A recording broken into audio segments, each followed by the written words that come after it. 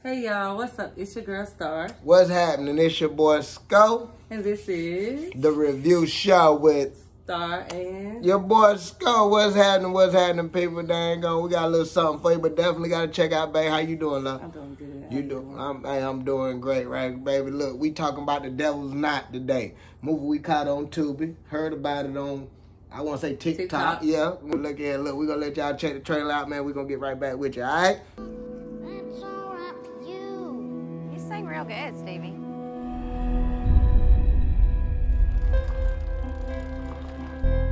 Where's the boy? He went out riding bikes with Michael, but I told him he better be home by 4.30.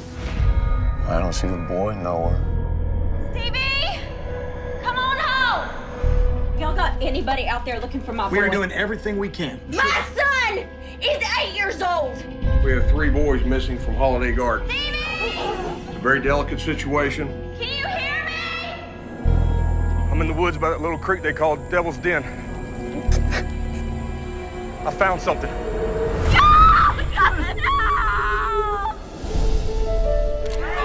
Damien Echols, Jason Baldwin, and Jesse Misskelley will be charged in the murders of the three boys we found last month in the Robin Hood Woods. Part of our investigation. We'll need hair samples from the two of you. Take it. Just take it. Just take all of it. This crime is unthinkable. What if they did it? what if they didn't? Some residents suspect a satanic cult is responsible. They look like freaks. My name's Ron Lax. I'm an investigator. Did you kill any of those three boys? No. Those cops are scary. They will do anything to get people to say what they want to hear. Not acting right. I'm not acting at all, Terry. Are you? What the hell are you talking about? These boys that you're helping, the police seem so certain. Are you sure you want to do this? Yes, I am. Religion gives people who want to do evil the justification for what they do. But did you ever find any evidence to link these murders to Damien? You don't talk to her, understand? I have a right to hear what he says. You're supposed to be a grieving mother. You start behaving like one. You understand why I have to help him? The police judge, everybody. This is all just some sort of game to them. Stevie. Would you want three more families to lose their children too?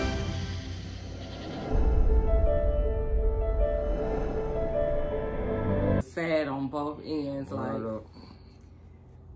And to actually hear that it was based on a true story really blew me away because basically like three eight-year-old boys was just enjoying their outside time. They ended up getting brutally murdered. Yeah. And um crazy, bro. On top of them being brutally murdered in this small town, you know, they're trying to close the case really fast. Facts.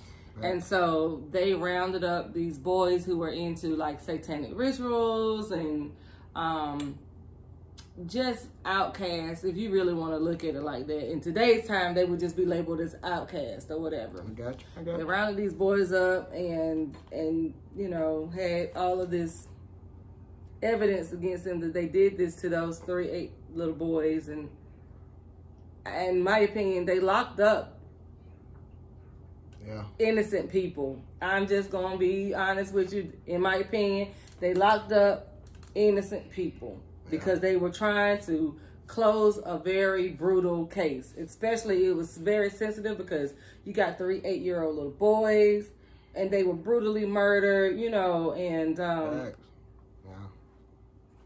I'm with you. I mean, I, am with everything you're saying. It, it, I think they tried to close the case too fast. Um, the biggest thing is they did overlook a whole lot of other stuff. A whole lot of stuff that they they could have looked into. And I'm I know we're looking at the movie now, and we don't know exactly how everything went when they were handling the case. But if it went that way, they really overlooked some things that they could have looked to see that those boys that they did lock up for this situation just may have not did it. You know. I, you know, I honestly think so. If you when you watch the movie, you're going to see in the very beginning of the movie, there's this African American guy who goes into a Bojangles bathroom, and he's bloody, he's muddy, and then you know they call the police. The police shows up. The police came through the drive-through, and was like, "Yeah, we'll come and check it out tomorrow."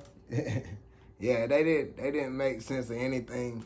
And, and the way these boys ended up when they found them, that that's what the bad part yeah. of the situation the, was. Those babies did not deserve that. Yeah, so whoever did it or whatever happened, it, it was it was very brutal. And I I mean, just like I said, but locking the wrong people up for a situation is terribly just wrong. because they wanted to close the case, yeah. like it really it really made me mad. And then on top of that, I really think that the um, Reese Witherspoon who plays the mom of one of the little eight year old boys, um, she started, in my opinion, she started feeling like maybe they had the wrong per the wrong people um, locked up. But um, she never said anything, you know, as in to like stop what was going on or trying to get it further investigated because there was a lot of evidence that they were actually overlooking. Like they literally had no evidence on the guys that they had in custody, on, uh, on these young men that they had in custody. Because I think the oldest one was like 18 and the youngest one was like 16. It's just more so when you get in that room, they'll get you to say whatever they want They will get say. you to say whatever they want you to say. One of them was really declared mentally retarded and he was just like yeah i did it. But he was also just trying to please the officers because they was ha- they had these boys in these holding rooms for like 12 hours you know? So anyway um, it is based devils the movie is called devil's knot it is based on a true story. Catch it on um, tubi. you can catch it on tubi um, YouTube. I even saw that you can catch it on Pluto TV. Yeah, a couple of platforms you can catch so, that. Uh, I do highly recommend it. If you have not seen Devil's Knot, please watch that movie. It is going to make you cry. You're going to be angry.